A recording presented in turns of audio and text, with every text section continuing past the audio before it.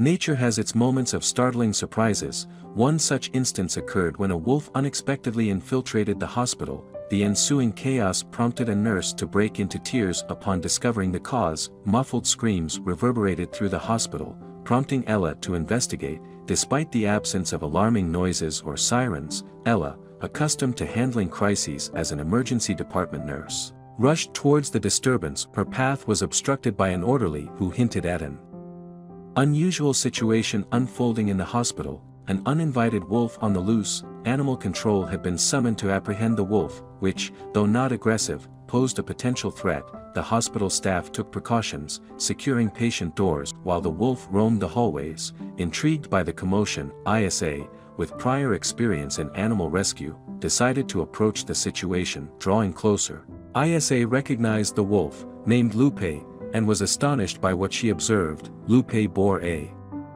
distinctive mark over her nose, instantly triggering Ella's memory, Lupe was a wolf. Ella had assisted as a pup, stemming from a traumatic event, a massive forest fire had ravaged the area connected to their town, endangering the hospital on the outskirts. Firefighters redirected their efforts, creating barriers between the forest and the hospital, successfully safeguarding the town. Unfortunately, the unchecked fire had devastating consequences for the forest, leaving numerous animals injured or Worse, overwhelmed sanctuaries and veterinarians sought assistance, and ISA, a human nurse with a deep love for animals, volunteered her medical expertise at the sanctuary, making a valuable contribution to the recovery efforts. She embarked on a learning journey in animal care, acquiring knowledge on the go, and the sanctuary welcomed any assistance she could provide, using her free time. ISA dedicated herself to tending to the animals affected by the forest fire, bandaging small creatures treating wounds and scrapes, and administering oxygen to those struggling to breathe. However, one particular animal would leave an indelible mark on ISA's life. While working on a hedgehog with severe quill and skin injuries, she received an urgent call, a tiny wolf pup, trapped beneath rocks during the fire, was in need of immediate attention, the pup, later named Lupe, had sustained a deep cut on her nose, and sadly, her mother and siblings had not survived. Approaching the injured pup, ISA gently picked her up, and in that moment, a profound connection formed. Little Lupe, bleeding and with signs of smoke inhalation, required intensive care. ISA, along with her friend Mike, provided round-the-clock attention, and Lupe gradually regained strength. Placed with another mother wolf and her pups, Lupe was adopted into their family when released back into the wild on the assumption that the wild would reclaim her. Ella was under the impression that it would be the final time she would see Lupe, while Ella was. Observing a wolf prowling the grounds of the hospital a few years later, she became convinced that the wolf in question was Lupe, the once vulnerable puppy had matured into a wild monster, and Ella questioned whether or not Lupe would remember the human who had been her nurse in the past, having made up her mind to remove the wolf from the premises of the hospital in a secure manner, Ella approached Lupe with caution. It came as a complete surprise to her when she found out that Lupe was carrying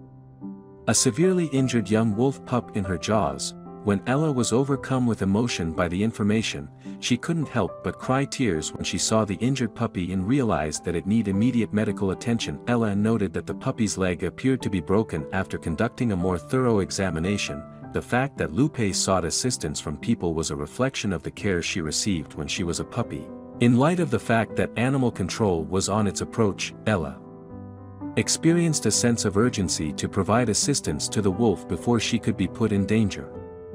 During the time that Lupe was carefully observing the nurse, Ella waited with bated breath to see if there was any recognition. Suddenly, Ella made a startling move by extending her hand to Lupe as she approached. The injured puppy was placed in Ella's hand, which was a demonstration of trust on Lupe's part, which everyone found to be astonishment, Lupe appeared to acknowledge Ella's wish to assist her. Despite the fact that it was still unclear whether or not she recognized her caregiver, Ella was left speechless when she held the injured puppy in her hands by the sudden appearance of Lupe, who sprinted out of the sliding door and disappeared. Despite the unexplained absence, Ella placed the pet's health and happiness as her top priority. During the time that she was waiting for animal control and the accompanying veterinarian, she cleaned and cleaned its wounds, at the end of her shift, She had a lingering feeling that hinted at a more significant problem with Lupe, Ella reached out to her. Friend Mike, who is an experienced sanctuary worker, for guidance before making the decision to travel into the forest, she did this despite the fact that animal control was getting closer, she thought that by releasing a live pin for Mike to find her, she would be able to solve the mystery that surrounded Lupe, even if it meant that she would have to face unexpected problems while being on an unplanned hike Ella, who had just finished working a 12-hour emergency shift, went into the bush in search of Lupe, she was wearing sneakers that made walking easier, and she was fatigued, in spite of the fact that the search had lasted for more than an hour without yielding any results, exhaustion started to set in, he suddenly heard a mournful wail that caused her to stop what she was doing, she was considering giving up and getting some much-needed sleep when she heard the howl. Ella approached slowly, cognizant of the potential dangers, when she carefully followed the sounds that were being made, by peering between the branches of the trees.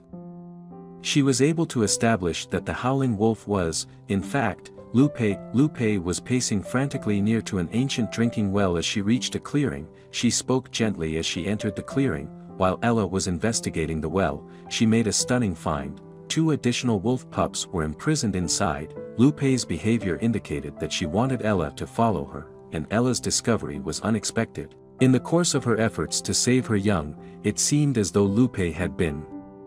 successful in retrieving one of them, but in the process, she accidentally wounded its leg. Although Lupe was thankful that Ella had stepped in to help with the hunt, it was clear that she was in a desperate situation because the surviving puppies required emergency medical attention. Ella was confronted with a difficult circumstance despite the fact that she was unable to design a plan without ropes or support. It came as a complete surprise to both Ella and Lupe when Mike, Ella's companion from the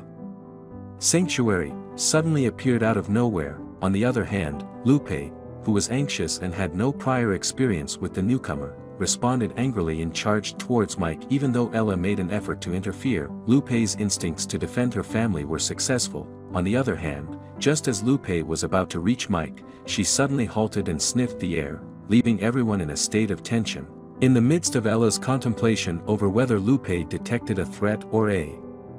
connection, the tension in the air remained elevated, it appeared as though Lupe was able to identify Mike's scent, probably because she recalled the care that he had provided for her when she was little and unwell, the more anxious Lupe was about rescuing her puppies, the more she hurried back to them without expressing any signs of hostility, in a fortunate turn of events, Mike, who is an experienced wildlife rescuer, was carrying emergency hiking gear with him, this gear included climbing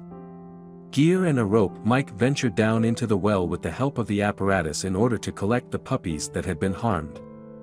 They were gentle with the damaged puppies as they passed each one to Ella, who was waiting above them. Following the rescue, they gave Lupe permission to smell and lick her children after they were reunited. It was Lupe who sprinted alongside them as they made their way back to their automobiles. Lupe eagerly joined the rescued puppies once they arrived at Mike's truck, where they were placed in a cage in the back of the vehicle ISA having a strong desire to observe the unfolding of the events.